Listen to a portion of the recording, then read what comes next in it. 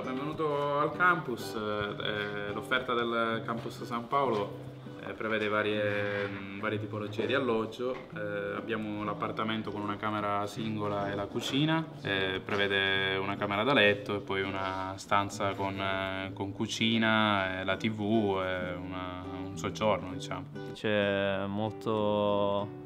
molta funzionalità, molta disponibilità sia dei ragazzi sia dei collaboratori. Insomma, una bella struttura dove vivere. Eh, abbiamo inoltre una serie di servizi inclusi nella, nella, nostra offerta che sono la sala polifunzionale, la sala studio, eh, la palestra, eh, le cucine comuni, il, il, bike sharing e l'internet point qui al, al ricevimento. La residenza universitaria adesso si presenta soprattutto come sintesi di due modelli insediativi del, eh, degli universitari. Da una parte un modello legato a una tradizione liberale di massima importanza data allo studio individuale e dall'altra un modello che è stato introdotto soprattutto a partire dalla eh, introduzione del pubblico e delle regioni nella gestione della residenzialità universitaria che cercava di privilegiare di più la socializzazione tra gli studenti.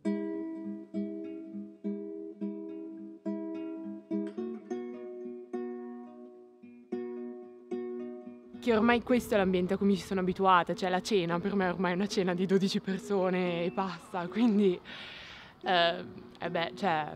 davvero una, si è formata una grossa famiglia adesso. Il campus è aperto dal 25 settembre e al momento ospita 360 studenti eh, per una disponibilità complessiva di 450 posti. Abbiamo inoltre una parte hotel con 80 posti, con 80 posti letto. Il campus è aperto anche all'esterno, alle persone che vivono e abitano nel, nel quartiere Infatti a partire dal, dall'aula studio è possibile utilizzarla per gli studenti che vivono in questa zona, nel quartiere San Paolo, basta registrarsi alla nostra reception e possono usufruire quindi del, del campus. Per il resto organizziamo anche con eh, le associazioni locali ovviamente di mm, organizzare degli eventi eh, all'interno della struttura in modo da fare interagire i ragazzi che vivono nel campus con eh, le attività che sono presenti eh, già da tempo all'interno del quartiere San Paolo.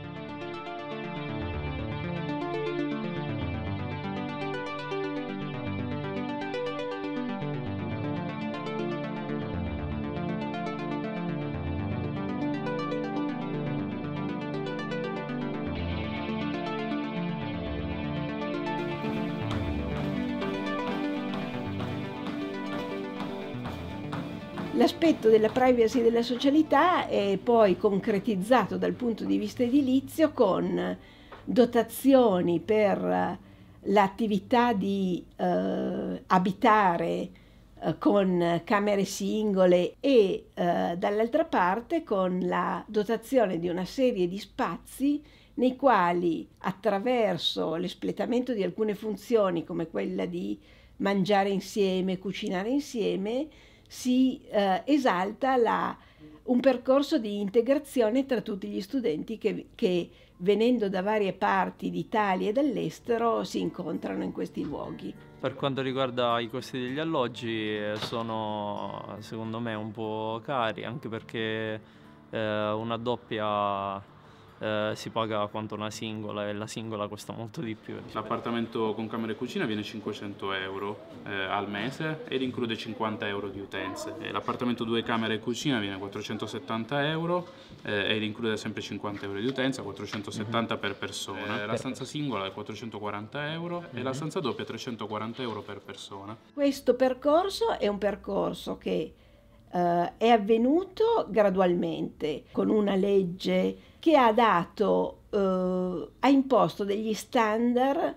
uh, quantitativi e qualitativi per la definizione delle funzioni nella residenza universitaria, cercando di adeguare i bisogni e la, le richieste degli studenti con quelle che potevano essere anche le risposte dal punto di vista del Ministero in termini di contributi alla costruzione di queste eh, di queste nuove residenze, in modo da non creare delle situazioni nelle quali eh, con eh,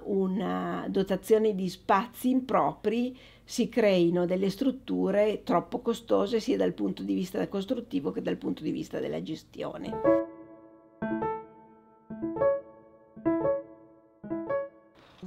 Per il resto, insomma, sono soddisfatto.